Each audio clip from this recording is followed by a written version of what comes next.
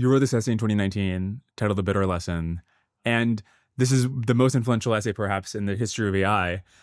But people have used that as a justification for scaling up LLMs because, in their view, this is the one scalable way we have found to pour ungodly amounts of compute into learning about the world. And so it's interesting that your perspective is that the LLMs are actually not bitter lesson pilled. It's an interesting question whether uh, large language models are are uh, a case of the bitter lesson. Yeah, because they are clearly um, a, a, way of using massive computation, th- things that will scale with computation uh, up to a, up to the limits of the internet. Yeah. Uh, but they're also a, a, way of putting in lots of um, human knowledge, and uh, so so this is an interesting question. Um, it's a, a, sociological or industry question. Uh, will they reach the limits of, of, of the data and and be superseded by things that that are that are can get more data just from experience rather than from uh, from people. Uh, in some ways, it's a classic case of the of the of the bitter lesson. With the more the more human knowledge we put into the large language models, the better they can do, and so it feels good.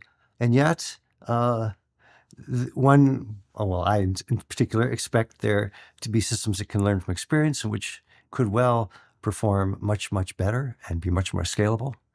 In which uh, case, it will be another instance of the bitter lesson that the things that, that, that used human knowledge were eventually superseded by things that just um, trained from uh, experience and computation. I, I, guess that doesn't seem like the crux to me because I think those people would also agree that the overwhelming amount of compute in the future will come from uh, learning from experience.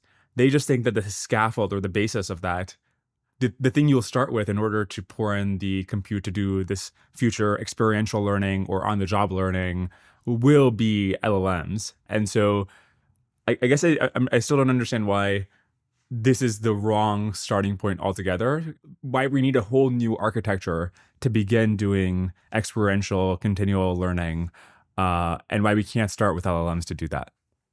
Well, in every case of the bitter lesson, you know, you could start with uh, human knowledge, right? And then just and then do the scalable things. Yeah, that's always the case. And there's no never any reason why that has to be bad, right? But in fact and in practice, it has always turned out to be bad because people get locked into the human knowledge approach and they psychologically or you know now i'm now i'm speculating why it is but this is what has always happened yeah that uh yeah they get they get their lunch gets eaten by the methods that are truly scalable. Yeah, give me a sense of what the scalable method is. The scalable method is you learn from experience. Um, you uh, you you try things, you see what you see what works. No one no one has to tell you. Eh, eh, first of all, you have a goal. So without a goal, uh, there's no sense of right or wrong or better or worse.